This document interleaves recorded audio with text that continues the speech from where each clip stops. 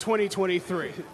Yeah, it's not a good thing. But first of all, I want to thank Allah subhanahu wa ta'ala for blessing me for this victory and for, for both of my, me and my opponent come out safe.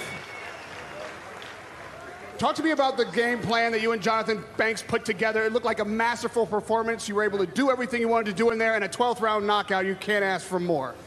Yeah, I, I, I was standing there too much. I, he told me to box and move. I was that's not really my style. I mean, box, yeah, but I like to come forward and fight. So, yeah, is a hell of a fighter. He's an African brother of mine. We used to be training partners. He's still my brother.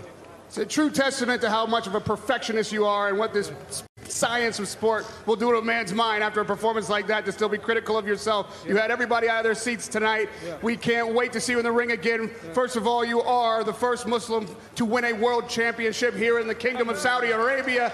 Talk to me about how that feels. Alhamdulillah, it feels amazing, amazing. And I think I'm the, somebody said I'm the oldest cruiserweight champion of all time. Well, you were the youngest tonight. Incredible performance. Radio Raheem with Badou, the Ripper Jack. الله أكبر. الله أكبر.